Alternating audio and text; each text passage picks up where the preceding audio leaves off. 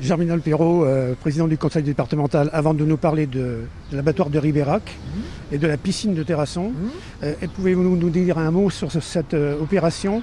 Vous êtes venu ce matin encourager votre équipe pour cette, ce centre de vaccination de trois jours à Terrasson, ça. les encourager, voir si tout se passait bien. Oui, exactement. Vous savez, depuis le début de la crise sanitaire, depuis un an, le département s'est mobilisé, euh, comme beaucoup d'autres collectivités d'ailleurs, aux côtés de l'État ben, pour être les- rendre le meilleur service. Vous vous rappelez qu'on a organisé l'opération sur les masques, euh, on est intervenu euh, au niveau des tests et, on met tous nos moyens à disposition. Et là, nous avons proposé à l'ARS et au préfet eh d'intervenir directement en matière de vaccination. L'ARS nous a confié la vaccination des personnes qui sont en résidence d'autonomie, il y en a 600 en Dordogne. On nous a confié la vaccination des personnels qui vont travailler à domicile. Et, aujourd'hui, nous participons avec le SDIS, dont je suis aussi le président, nous participons à l'installation d'un centre de vaccination qu'on appelle temporaire, puisqu'il va rester euh, euh, trois jours sur, sur la ville de Terrasson et il va vacciner plus d'un millier de, millier de personnes. Donc on fait notre travail de collectivité aux côtés des services de l'État et aux côtés de l'ARS. Et je veux souligner le concours, bien sûr, des personnels du département et des pompiers du, du département, mais je veux souligner aussi le travail des collectivités, des mairies, des intercommunalités qui organisent derrière nous le transport de personnes âgées qui n'ont pas de moyens de locomotion. Gros dossier en ce moment, c'est l'abattoir de Ribérac que le département vient de reprendre. Euh, ouf de soulagement pour tous les agriculteurs, même ici euh, dans toute la Dordogne, on peut dire. Oui, alors le, le- le- la, la fermeture de l'abattoir de Ribérac, c'était une catastrophe euh, économique et sociale, euh, puisqu'il y avait des dettes et que la commune va d'ailleurs payer pendant une dizaine d'années.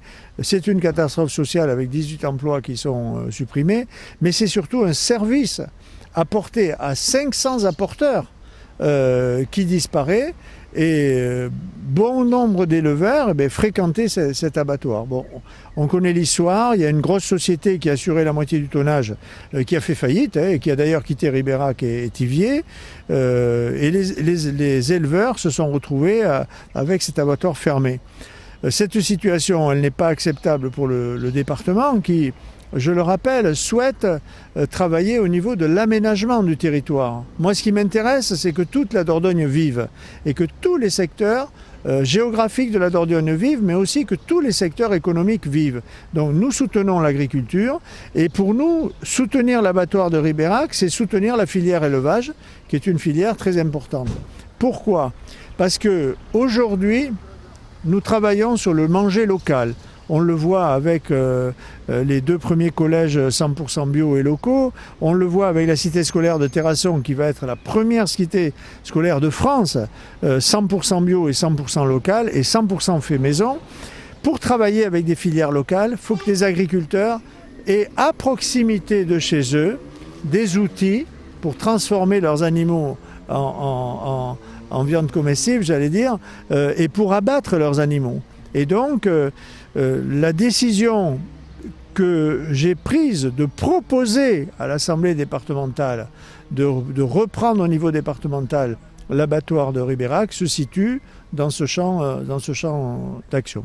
Vous relancez la machine et vous continuez après, vous restez à la tête de l'abattoir? Non, j'espère que les. D'abord, je vous dis, ce sera soumis au vote des conseillers départementaux la dernière semaine du mois d'avril.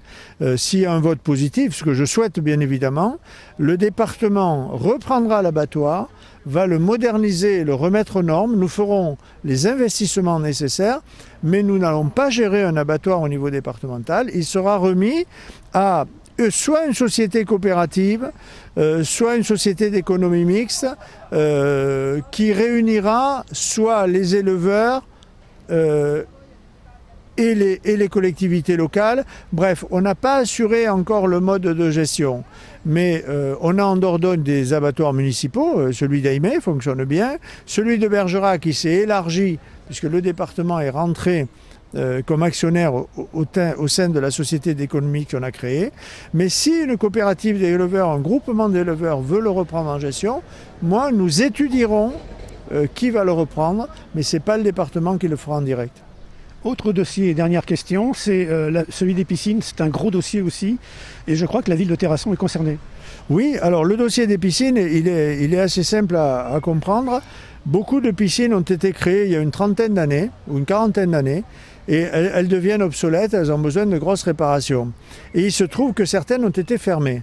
C'est le cas à Terrasson, euh, c'est le cas à Montignac, euh, c'est le cas à Tivier, c'est le cas à Bourdeil, c'est le cas à Champagnac de Bel Bon, bref. Donc on a des piscines fermées et on a beaucoup de piscines qui ont besoin de faire des travaux importants.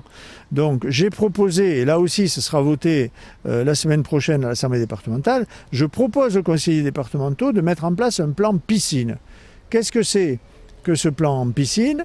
Nous allons apporter 25% d'aide spécifique euh, sur les piscines aux communes qui s'engagent dans des travaux de restauration. C'est le cas de Terrasson qui va bénéficier d'une aide de 457 000 euros, si je ne me trompe pas. C'est ce que j'ai adressé le, courrier à Jean Bousquet, au maire de Terrasson. Mais attention, ces 25%, ils peuvent se cumuler avec les aides que l'on accorde, vous savez, par canton ou par communauté de communes. Donc si les élus locaux considèrent que c'est un dossier important et qu'ils apportent à travers le contrat 25%, le département apportera 25% de plus, ça veut dire qu'on peut arriver à 50% d'aide du département sur les piscines.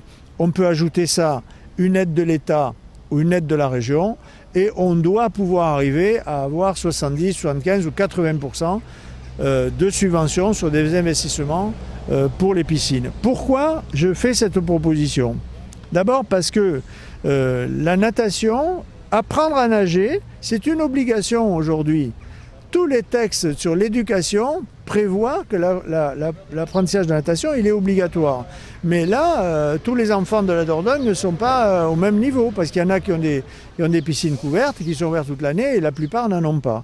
Donc, premièrement, il faut en termes d'égalité, mettre tous les enfants de la Dordogne sur le même pied. Et puis, une piscine, c'est aussi euh, une, attractivité, euh, un vecteur d'attractivité pour un territoire. Quand on va s'installer dans une région, etc., ben, très souvent les gens demandent y a-t-il des médecins? Bien sûr, y a-t-il des collèges? Y a-t-il des lycées? Mais est-ce qu'il y a des équipements sportifs? Et les piscines font partie de ça. Sur le plan social, les piscines, ce sont des lieux de rencontre. Combien de gens me disent, depuis qu'on parle de ça, vous savez, euh, quand j'étais jeune, eh bien, je, fréquentais la piscine de Montignac, la piscine de Terrasson, la piscine de Tivier, etc. Donc tous ces éléments font que le département, je l'espère, va, je pense que mes collègues me suivront, le département, ben, je l'espère, votera ce plan piscine, dont la ville de Terrasson figurera par les est-ce que, ce dossier, est que ce dossier pourrait aller vite? Est-ce que ces piscines pourraient réouvrir en 2022, l'année prochaine? Alors écoutez, le, dossier, il va, il va très vite, puisque si nous votons la semaine prochaine, le maire de Terrasson recevra un courrier où il a 457 000 euros euh, dès la semaine suivante. Et je l'ai déjà prévenu. Donc le département, lui, est très réactif et il peut, il peut verser l'argent. Il y a une partie, les premières là que nous avons mis en liste, euh, euh, il y a Nontron, il y a Montpont, il y a Terrasson, il y a Montignac. Ceux-là recevront, s'ils ont fait les travaux, l'argent avant la fin de l'année. Donc ça peut aller très vite, mais il faut d'abord faire l'étude sur les travaux, choisir les travaux à faire, et ensuite réaliser les appels d'offres, etc., etc., respecter les procédures.